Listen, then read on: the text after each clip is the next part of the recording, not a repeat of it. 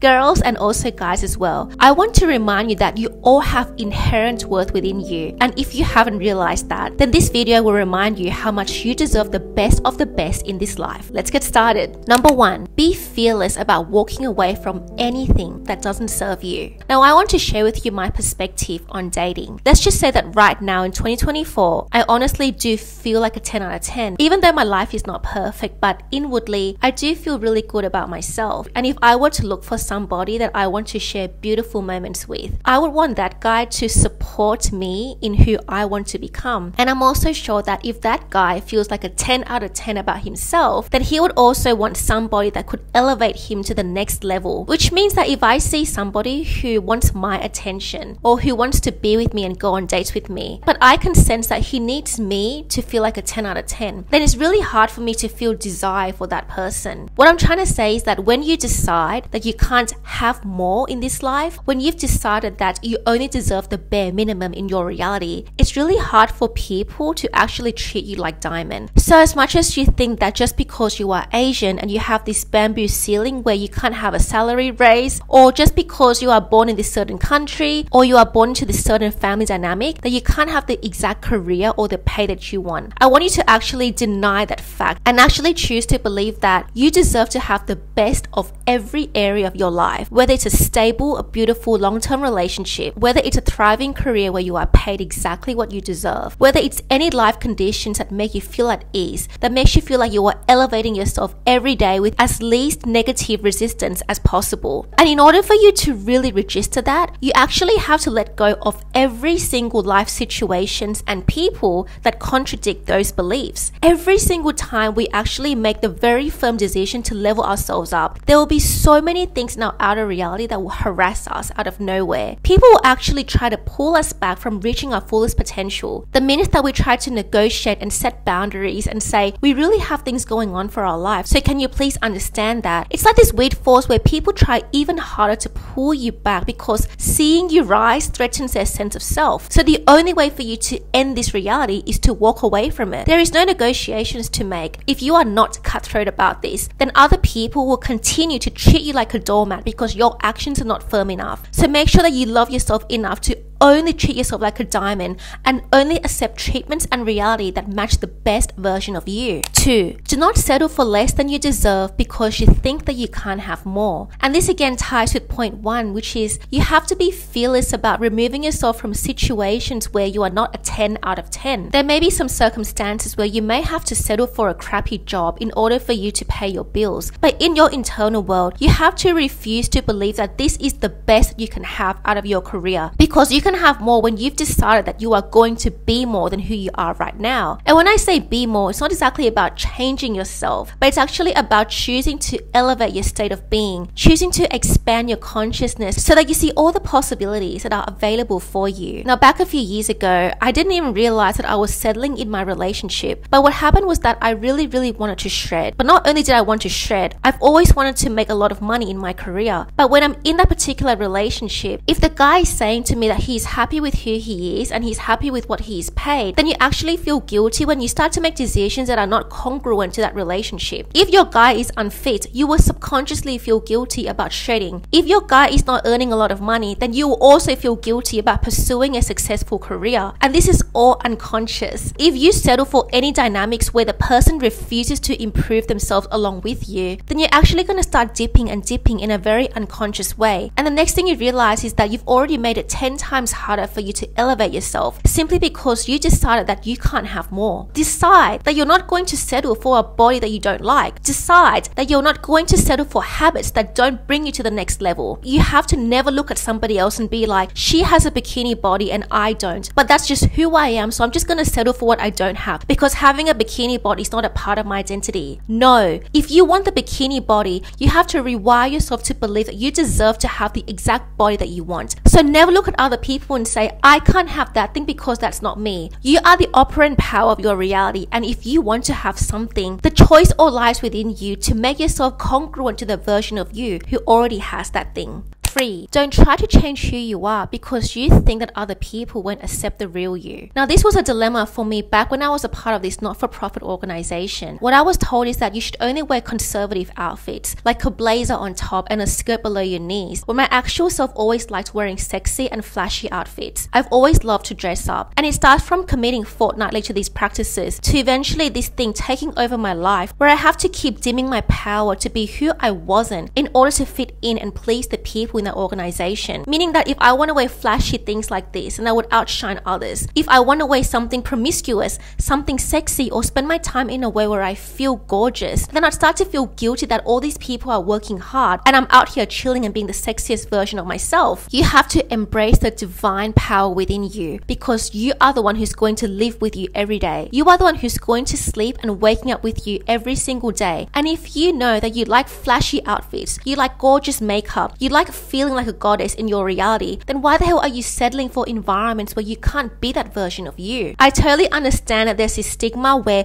you have to be classy and wear conservative outfits that don't reveal too much skin. But again, if you feel empowered, showing a bit of skin, talking about things that may push a bit of boundaries, being this version of you who's experimenting with fashion and not staying in the box that people confine you to be in, then you have to decide that if this makes me happy, then it doesn't matter what other people think of you. Now, there was literally a point where I used to be scared that if I really show people the true me, then people won't actually like it because the true me is not that innocent. But at one point, it just felt like I always had to make other people feel 100%, regardless of how I feel. If I didn't agree with what somebody was saying, I would pretend to agree because I wanted that person to feel like, yeah, the conversation's going well, but in actuality, my mind is thinking a totally different thing. And if I were to always voice what I was thinking, then I was scared that I would lose all these friends and no longer have people to hang out with. But eventually, I came to realize that the more you are authentic in who you are, the more you embrace the version of you where it feels like, I feel alive. I love this feeling. I love how I'm shining. You can say to me, go and do OnlyFans or go and thirst trap men, but that's just you being envious of who I am. Even when I don't wear revealing outfits, people are still hitting on me anyway. So it doesn't matter what people say about you. There will always be judgmental people trying to put you down for anything that you do. So make sure that you keep doing you and never dim your own light just because you feel like if I'm my true authentic self, people are going to be offended by it. If I say what I truly think, if I allocate my time in the exact things I want to do each Thursday, Tuesday, Wednesday evenings, if I spend my weekends in the exact way that I want to spend it, then people will feel like I'm being selfish.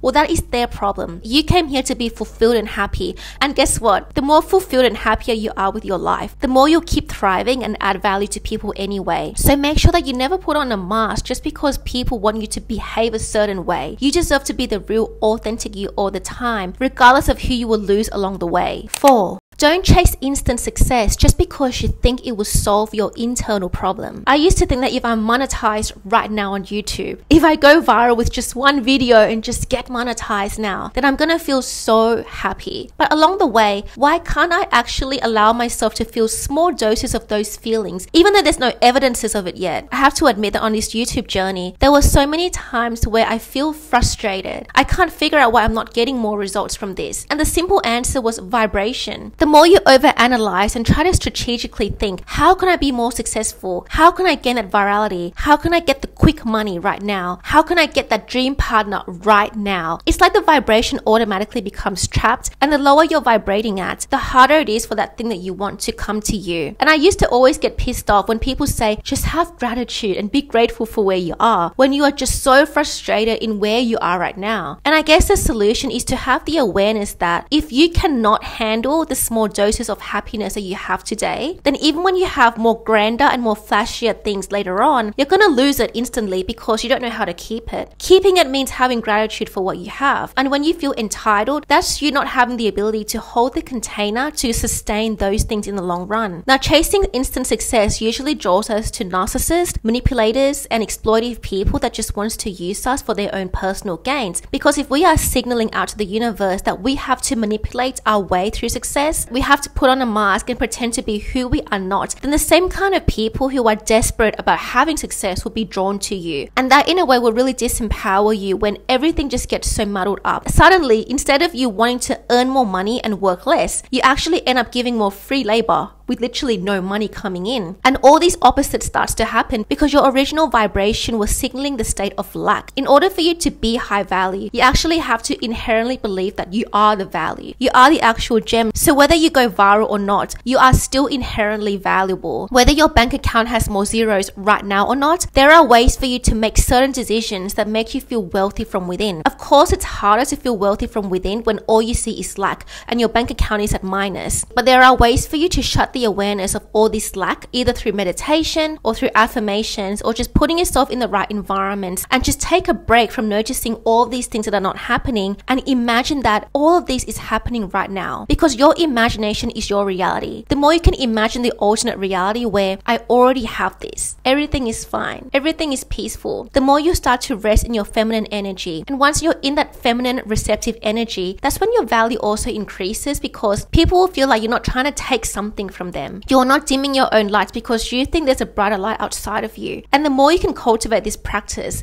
the more your value will increase because you'll behave in ways that signify that you are worth it. You are worth receiving. You don't need to run anywhere to achieve any kind of result. And that's the most beautiful place for you to be in. Five, don't be afraid of your own companionship. Along the way of us increasing our inherent worth, we will have to lose a lot of people that don't resonate with our new self. And if you are afraid of being alone, then you'll always make decisions that make you revert back to your old ways. And the thing is that no matter how many times you go back to your old environment, it's not going to change. So let's just say your old environment was fairly toxic and you think that just because you gave people 30 days of no contact or you've kind of walked away for 30 days, then when you actually go back to that toxicity again, those people will actually change. And I want to tell you that it's not going to change because that timeline is that timeline. When they say that your reality can change by you shifting your timeline, it means that you have to walk on a permanent parallel reality, meaning that even if for 60 days or 90 days or for one whole year, you are about to be a loner, you're about to spend majority of your weekends on your own, you're about to be single for a while, you're about to have very few friends for a while, but you are so okay in your own presence. You are so okay taking yourself out on solo dates. You are so okay sitting down in romantic restaurants and really having the time of your life because I've been doing that and I really, really have fun. And in the process of you learning how to dress up for yourself, when you start to wear your makeup and really glam yourself up just to go and hang out on your own. You have no idea how empowering that feels. You are no longer sitting down there to have to seduce or present yourself or sell yourself to anyone because you are there to enjoy that plate of dessert by yourself. You are there to really connect with you and your inner child. And you don't have to expend your energy to please anyone in front of you. If you feel being alone on weekends, which I used to fear so much after my breakup, you will never attract the reality where you get to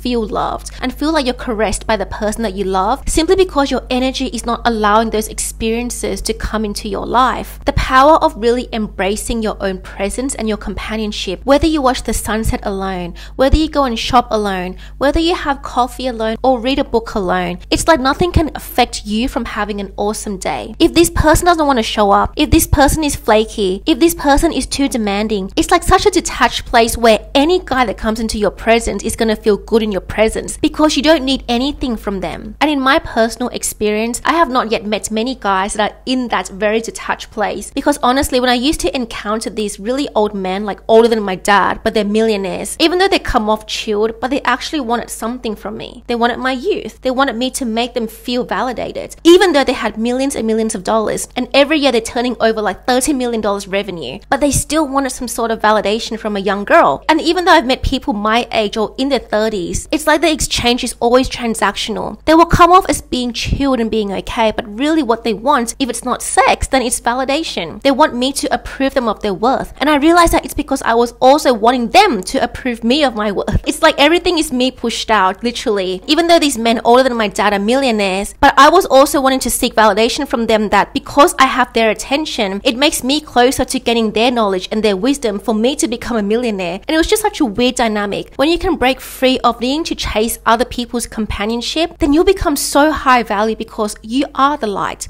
and you know that. You are the one that's creating this positive energetic field for yourself and therefore you're only sharing this to other people. And because you know your boundaries so well you are never oversharing. You are sharing just enough for people to enjoy the presence with you. But once they leave you your light still remains and that's how you always want to be to stay high value. Six never underestimate the power of small doses of daily happiness. So during the times where I was really, really dipping, I couldn't even see how I could access so many happy experiences with little money. So for example, girls would attribute being high value with having a Chanel bag or a Gucci bag or a Louis Vuitton bag, but I didn't have $7,000 on me to actually buy those handbags. And during the times where I did have the income, it's like $7,000 was almost two months of really, really hard work. And if I spend two months of my salary on a Chanel handbag, then how am I going to afford other things that I want in my life? So in this harsh period where I have to adjust myself to know how to really appreciate the value of happy experiences without having to pay so much for it. It's like the biggest and most profound lesson I've ever learned in my life. Because once I start to believe that this is just a temporary situation, the lack of cash flow is so temporary, but I'm giving myself permission to somehow feel rich without having a lot of money. So instead of me spending $7,000 on a Chanel handbag, I would actually come back and ask myself, what makes me feel really beautiful and how much does it truly cost? And I'll tell you how much it truly cost. A $5 choker made me feel really beautiful. This earring is $3. My gigantic eyeshadow palette right now is $30. And in Sephora, for $30, you only get like a mini neutral tone palette. You can't even play around with the color variety on those eyeshadow palettes. And in order for you to have like 16 colors of the same tone, you have to pay almost $100 for it. But I got exactly what I've always wanted as a child for $30, a very gigantic eyeshadow palette. In terms of face cream, my good friend gifted me this Lancome set, which cost $300 altogether. But before the Lancome set, my skin quality was the same. Me having that skin set just made my skin less dry, but it didn't really help with anything to be honest, besides making me feel more expensive. Therefore, I could almost say that just having quality diet, having good sleep, having good thought patterns, having a good self-concept made my skin quite clear on its own without any creams. And that's what I'm trying to communicate with you about small doses of daily happiness. Although carrying a Chanel bag could make me feel expensive while I'm carrying it, but without it, I already feel beautiful. And because I already feel beautiful, it's like the universe will always send me all these little resources to help me feel even more empowered. Like this $5 choker, or this earring, or these headbands that are like $10. And they just light me up so much because I love dressing up. And dressing up doesn't have to be expensive. Okay, I agree that sometimes I do want to wear great quality fabrics, and good quality fabrics cost a lot of money. But there are so many times where all these things are pretty decent in quality, and I ended up paying less than $50 every time. And the other example I want to give you is fine dining. For me, because I've trained myself to not eat too much, since I do the beach clips, I have to stay shredded. And so while I'm not starving myself, but I'm eating in very small portions each time. So when I go to an expensive restaurant, it's not about the food that I'm eating that I care about. It's about my experience there, feeling pampered, feeling chosen, feeling loved. So one bowl of $22 dessert is enough for me. And when you order something at an expensive restaurant, which I recently did, you get like something this small. It's a really, really small portion, but it's just the right amount for my stomach. Therefore, it only cost me $22 in a fine dining environment for me to feel fully chosen. That $22 bowl of dessert is enough for me to feel like I just ordered something worth $500. At the same time, the food that I'm eating is just an enhancement. So it's a win-win for me that small portions actually make me feel even better because I'm not bloated after I eat it. And it's like, damn, if you really understand what happiness is and how it doesn't have to cost a lot of money for you to experience so many little doses of happiness, you will experience so much fulfillment along the way to your success. And how does this come back to being high value? Well, the thing is, the more you are fulfilled with where you are, the more you can find ways to really spark that inner joy within you. Whether it just costs $5, whether it costs $20, and these nails, they cost $13 by the way, and the glue cost about $7 or $10. So altogether, I get to wear these nails for $20 for a month because I get to wear them and take them out. So I don't even need to spend $200 on this, and you have no idea how great that feels because if other people feel good by overpaying, that's great, but I don't feel good overpaying. I feel good having expensive things, but if that expensive thing is not worth the price, it makes me feel even disempowered while I'm constantly overpaying for things that are just not worth it. And it makes me feel so empowered that so many things are accessible when you just raise your vibration and stop judging yourself for what you don't have. Okay, guys, so these are all the ways you can be high value and stop settling for less than you deserve. If you guys like this video, feel free to comment down below what you want to see and also let me know if you guys like this video or not. Other than that, I am more than excited to keep growing with you on this journey, so I'll see you soon. Bye bye.